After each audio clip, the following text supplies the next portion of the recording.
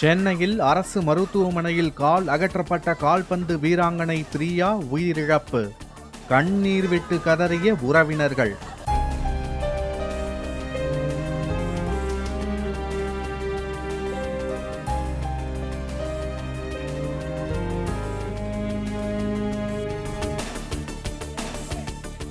பிரேத பரிசோதனைக்கு பின் பிரியாவின் உடல் உறவினர்களிடம் ஒப்படைப்பு. ஆம்புலன்ஸின் முன்பாக அமர்ந்து பிரியாவின் உறவினர்கள் நண்பர்கள் தர்ணா போலீசார் சமாதான பேச்சுவார்த்தை.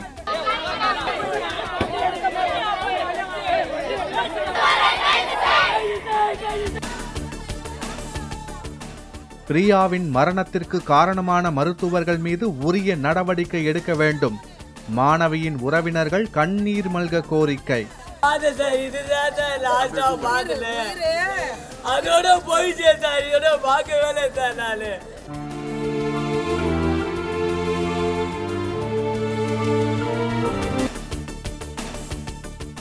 கால்பந்து வீராங்கனை பிரியா உயிரிழந்த விவகாரத்தில் மருத்துவத்துறை விளக்கம். தசை கிழிந்து உருவான திரவம் ரத்தத்தில் கலந்ததால் இரத்த ஓட்டம் பாதிக்கப்பட்டு ஒவ்வொரு உறுப்புகளாக செயல் இழந்து மரணம் என தகவல்.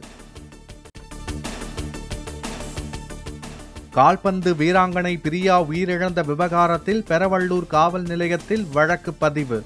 இயற்கைக்கு மாறான மரணம் என்ற பிரிவின் கீழ் காவல் நிலையத்தில் வழக்கு பதிவு. கால்பந்து வீராங்கனை பிரியாவின் மரணத்தை அரசியலாக்க வேண்டாம். மருத்துவத்துறை அமைச்சர் மா. சுப்பிரமணியன் வேண்டுகோள். மருத்துவர்களின் கவனக்குறைவால் பிரியாவின் உடல்நிலை மோசமடைந்ததாக சுகாதாரத்துறை அமைச்சர் மா. சுப்பிரமணியன் விளக்கம். சம்பந்தப்பட்ட இரண்டு மருத்துவர்களும் பணியிடை நீக்கம் செய்யப்பட்டுள்ளதாகவும் பேட்டி. கால்பந்து வீராங்கனை பிரியாவின் குடும்பத்திற்கு பத்து லட்சம் ரூபாய் நிவாரணம். ஒருவருக்கு அரசு வேலை வழங்கப்படும் என்றும் அமைச்சர் மா. சுப்பிரமணியன் அறிவிப்பு. வங்கக்கடலில் நாளை புதிய காற்றழுத்த தாழ்வு பகுதி உருவாகும் என இந்திய வானிலை மையம் கணிப்பு. தமிழக கடலோர பகுதிகளில் வரும் பத்தொன்பதாம் தேதி கனமழை பெய்யக்கூடும் என்றும் தகவல். தென்கிழக்கு வங்கக்கடலில் நிலவும் வளிமண்டல கீழடுக்கு சுழற்சியால் புதிய காற்றழுத்தம் உருவாவதாக வானிலை மையம் விளக்கம். நவம்பர் பத்தொன்பதாம் தேதிக்கு பிறகு தமிழகத்தில் படிப்படியாக மழை தீவிரமடையும் என்றும் முன்னறிவிப்பு.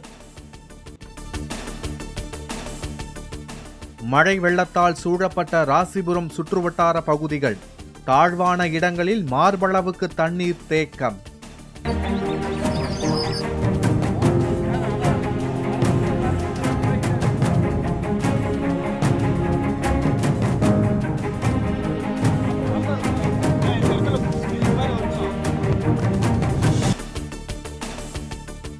ஏழை மக்களுக்காகவே இல்லம் தேடி மருத்துவம் திட்டம் கொண்டு வரப்பட்டதாக முதலமைச்சர் மு க ஸ்டாலின் விளக்கம். கல்வியும் மருத்துவமும் தமிழக அரசின் இரு கண்கள் என்றும் பேச்சு. கால்பந்து வீராங்கனை பிரியா குடும்பத்திற்கு ஒரு கோடி ரூபாய் இழப்பீடு வழங்க அதிமுக இடைக்கால பொதுச் செயலாளர் எடப்பாடி பழனிசாமி வலியுறுத்தல். அரசு மருத்துவமனையில் தவறான சிகிச்சையே பிரியா மரணத்திற்கு காரணம் என்று குற்றச்சாட்டு. கால்பந்து வீராங்கனை பிரியாவின் குடும்பத்திற்கு தமிழக அரசு இரண்டு கோடி ரூபாய் இழப்பீடு தர வேண்டும். தமிழக பாஜக தலைவர் அண்ணாமலை வலியுறுத்தல்.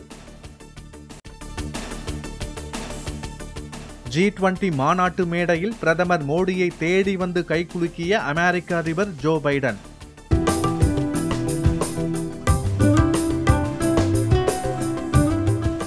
பாலி மாநாட்டின் நிறைவில் ஜி டுவெண்டி கூட்டமைப்பின் தலைமை பொறுப்பு இந்தியாவிடம் முறைப்படி ஒப்படைக்கப்படும். பிரிட்டன் பிரதமர் ரிஷி சுனக்குடன் பிரதமர் நரேந்திர மோடி சந்திப்பு. இந்தோனேஷியாவில் நடைபெறும் ஜி டுவெண்டி மாநாட்டின் இடையே ஆலோசனை. டெல்லியில் இளம்பெண் ஸ்ரதா வால்கர் துண்டு துண்டாக வெட்டி கொல்லப்பட்ட சம்பவம். கொலைக்கு பின்னணியில் காதலித்து மதமாற்றம் திட்டம் இருக்கலாம் என ஸ்ரதா தந்தை சந்தேகம். கீழக்கரை பொறியியல் கல்லூரி விடுதியில் பரோட்டா சிக்கன் கிரேவி சாப்பிட்ட மாணவர்களின் உடல்நிலை பாதிப்பு. வாந்தி மயக்கம் ஏற்பட்டு அரசு மருத்துவமனையில் சிகிச்சைக்காக அனுமதி. கிருஷ்ணகிரி மாவட்டம் போச்சம்பள்ளி அருகே உள்ள கோயிலில் உண்டியலை உடைத்து பணம் கொள்ளை. நள்ளிரவில் வந்து மர்ம நபர் கைவரிசை காட்டும் சிசிடிவி காட்சி. நடிகர் மகேஷ் பாபுவின் தந்தை கிருஷ்ணாவின் மறைவிற்கு ரஜினிகாந்த் கமல்ஹாசன் இரங்கல். கிருஷ்ணாவின் மறைவு தெலுங்கு திரையுலகிற்கு பெரிய இழப்பு என ட்விட்டரில் ரஜினிகாந்த் உருக்கம். சென்னை மண்ணடி கொடுங்கையூர் பகுதிகளில் நான்கு இடங்களில் அதிகாலையில் போலீசார் சோதனை. ஐஎஸ் இயக்க ஆதரவாளர்கள் என சந்தேகிக்கப்படுவோர் பட்டியலில் இருப்பதால் நடவடிக்கை. இருநூற்று முப்பது பெண்களை வரன் பார்க்க பதினான்காயிரம் ஆடவர்கள் விண்ணப்பம். கர்நாடகாவில் திருமண வரன் பார்க்கும் நிகழ்ச்சியில் வினோதம்.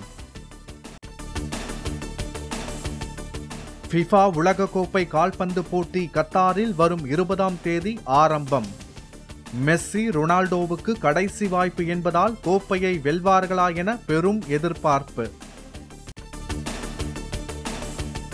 தனது சொத்தின் பெரும் பகுதியை நன்கொடையாக வழங்கப் போவதாக அமேசான் நிறுவனர் ஜெப் ஃபெசோஸ் அறிவிப்பு. காலநிலை மாற்றத்தை எதிர்கொள்ள பணத்தை செலவிட திட்டம்.